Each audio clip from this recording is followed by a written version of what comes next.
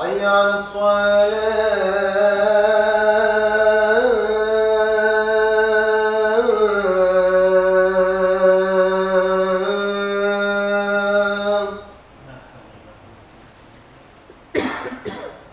حي على الفلاح.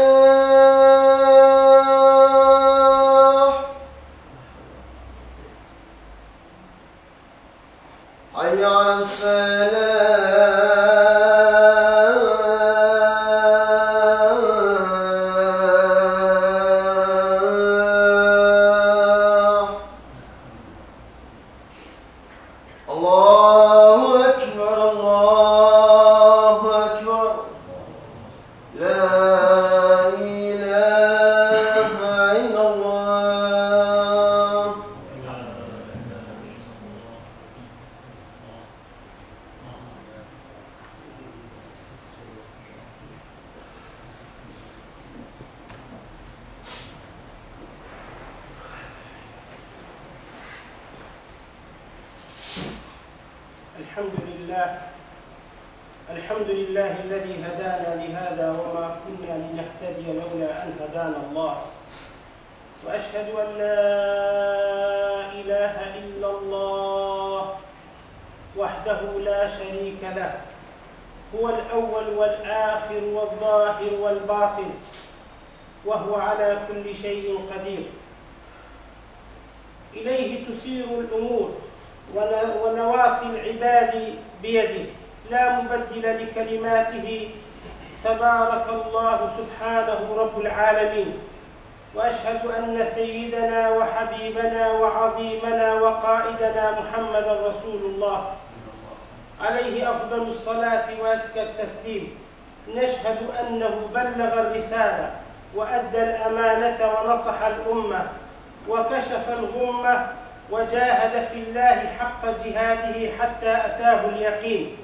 إخوة الإيمان والعقيدة أوصيكم بتقوى الله وطاعته ولزوم أوامره وكثرة مخافته. مع خطبتنا الرابعة والأربعون الحديث عن عن- اقتراب شهر رمضان المبارك. إنه اقتراب نعمة عظيمة ومنة كبيرة من الله سبحانه وتعالى علينا. نعمة كبيرة لأن فيه الأعمال بأضعاف مضاعفة ومنة علينا يغفر الذنوب فيها جميعا. نحن الآن في نهاية شهر رجب وفي بداية شهر شعبان شهر الذي فيها مكانة عظيمة بين العبد وربه. إن شهر شعبان كما سأل زيد بن كما سأل أسامة بن زيد رسول الله صلى الله عليه وسلم قال صلى الله عليه وسلم إنها شهر ترفع فيه الأعمال إلى الله سبحانه وتعالى. أن يرفع فيه عملي وأنا صائم.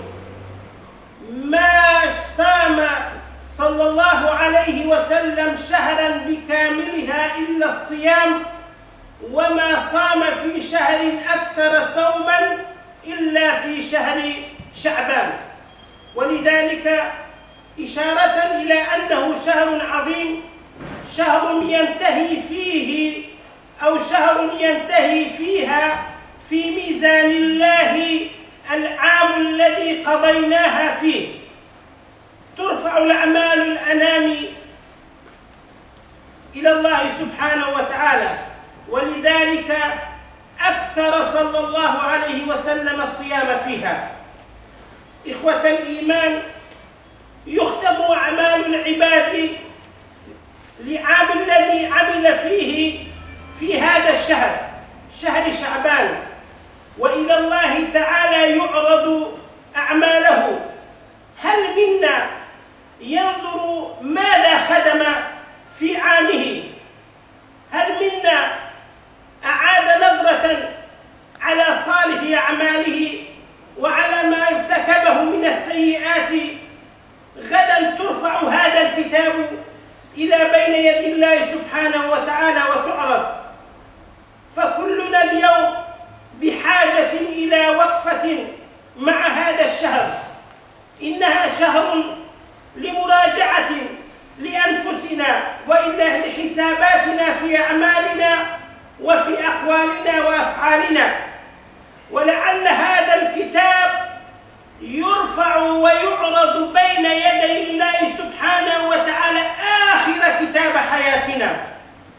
كيف نكون لهذا اليوم مع أعمالنا كي يعرض على الله سبحانه وتعالى؟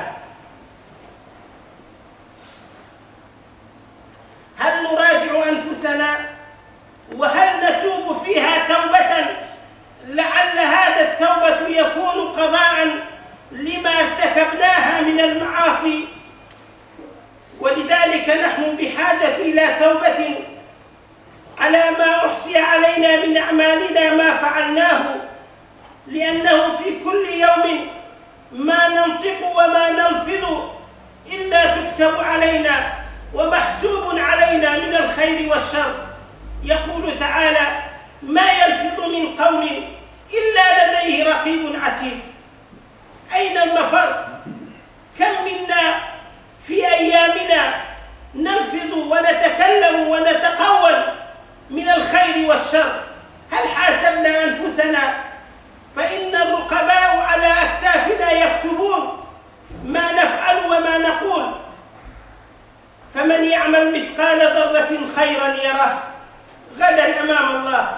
ومن يعمل مثقال ذرة شرا يراه.